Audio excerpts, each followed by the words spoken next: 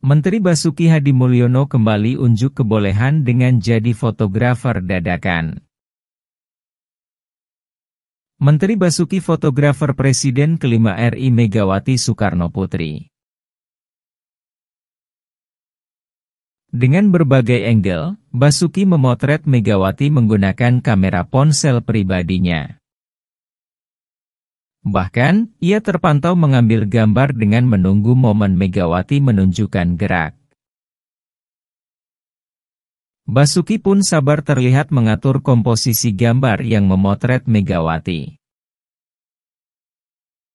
Bidikannya juga diarahkan ke sejumlah penari dan pemain musik yang panggung utama.